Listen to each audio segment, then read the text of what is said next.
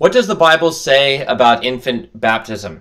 Now, this is quite a big question. There has been uh, much discussion of this over the years, much uh, contention and debate. Does the Bible, in fact, teach that we ought to baptize our children? And uh, if the Bible does teach that we are to, to baptize our children, which is what I will, will be arguing, uh, what does this mean? What are the implications? Why is this an important doctrine? Now, this is quite a big topic, and so the goal will be to cover this in five parts. The goal of this first part will be to, to introduce the topic and to give some of the foundational arguments for why we are to baptize infants. And what we're going to see is that this that there are two really foundational ideas and doctrines that must be established in order for uh, the arguments for infant baptism to be uh, credible and for them to be uh, persuasive to people. And, and that will be addressed in parts two and three. And those two foundational doctrines are one, the continuity of the covenant, uh, that particularly seen in the way in which baptism is related to circumcision and is in, in, in uh, real sense the new circumcision. And then secondly, the doctrine of the distinction between the visible and the invisible church, that there is a connection between the visible and the invisible church, and yet they are distinct. Those are the two main foundational uh, doctrines that must be in place in order for the arguments for infant baptism to be um, persuasive in any sense. Uh, then in, in, part four, we'll look at some of the arguments that Baptists put forward in, in favor of their position, and we'll try to show that these uh, do, do not lead to the conclusion that we ought to refrain from baptizing infants, that we should only baptize those adults who make a profession of faith or those who are capable of making a profession of faith. And then in part five, we will look at the uh, pastoral implications. Why is this doctrine important? Um, and what we're going to see is because the this doctrine is related to other foundational doctrines, as, as uh, I've I've mentioned, particularly the continuity of the covenant uh, and uh, the distinction between the visible and the invisible church.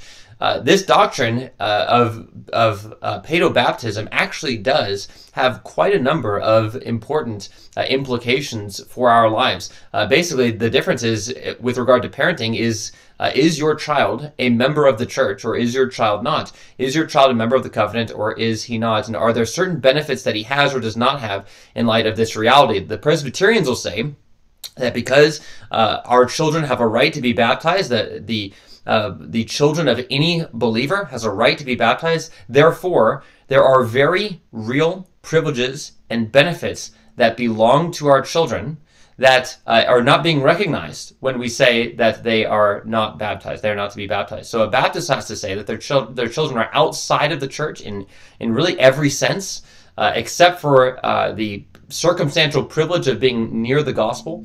Uh, but they are they're outside of it in any real and important sense until they make a profession uh, of faith. And so the question is, what does the Bible say about this? Does the Bible teach that we ought to baptize uh, our infants? Uh, one of the main arguments for this, again, we'll, this will be just an introduction into the, the things we'll, we'll carry out in more detail in parts two and three. Uh, one of the main foundational things that we're arguing is with regard to infant baptism uh, is that there is in fact a continuity, a continuity to the covenants and in every covenant, in every covenant that God makes with his people, uh, children are always included and they are always given great benefits with regard to the covenant. And it would be quite a strange thing if Christ comes and he is the one who brings in the fullness of all grace. Only in Christ do we receive grace upon grace, and yet every old covenant believer has the right to call uh, God the God of his children and yet no New Testament believer has that right until those children profess faith. Now, that is really the, the, the main issue. That all, in every covenant, there is a, an inclusion uh, of children. So, for instance, when we think of of the, uh, the the covenant that's made with Adam and and uh, uh, and Eve, particularly in the garden after the fall, the beginning of the covenant of grace, there is a promise made, even as the, the serpent is being cursed, that there will be one who will come from the seed of the woman who will crush the head of the serpent, and that will mean a benefit for the seed of the woman as a whole. So the so the covenant is made, and yet the seed benefits. Same thing we see with Noah, uh, the covenant with Noah. Noah was a righteous man. He gets to live, and all of his family gets to live. Same thing with Abraham. Abraham receives the covenant, and God says that he will be the God of Abraham and the God of his children. This is then set in place with regard to uh, the covenant of circumcision, circumcision being the sign of that covenant. Uh, and so every child uh, in Israel who's born has a right to call God their God because they are circumcised. That's that's the, the sign that shows that they have the, that they have this right. It's the outward sign that shows uh, the right that they have to call God as their God. The children are included, and they have quite a number of very real promises and benefits to them. There is a, a, a big difference between a child of a Philistine in the Old Testament and a child uh, of an Israelite and uh, the children there are included. Same thing we have we have with the uh, covenant that's given uh, in uh, to David. The covenant to David, there is a, a promise given to David that he will rule, but then also, and even more particularly in that promise, uh, all of David's children in succession will rule in an everlasting kingdom. And so we have all these promises that, and this of course ultimately culminates in Christ. All these covenants all pertain to both the person who receives the covenant and uh, their children. And even when the Old Testament prophesies of the new covenant, it, it also includes the children. So, for instance, in Deuteronomy chapter 30, a prophecy about the return of the people of God uh, from exile after they've sinned, uh, uh, a, a, a time in which the prophets uh, uh, speak over and over again as, as relating to the coming of the Messiah. Uh, when the Messiah comes, God will circumcise the hearts of his people and the hearts of their children. There will be a benefit that goes both to the parents and to the children when the new covenant, uh, in fact, comes. And so the idea here is that every old old covenant believer, uh, and this is really Calvin's argument from Book Four of the Institutes, this, this portion of it, every old covenant believer had the right to say that God was the God of their children.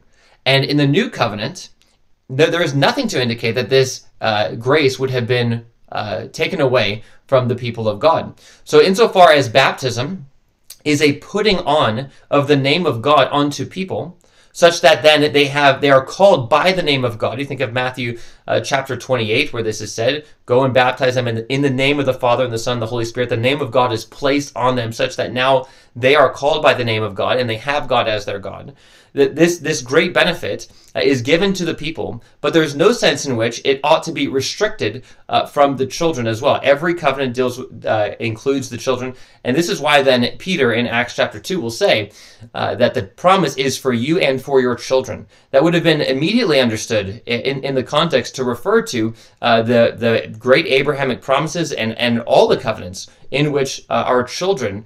are to be partakers of the blessing uh, of God.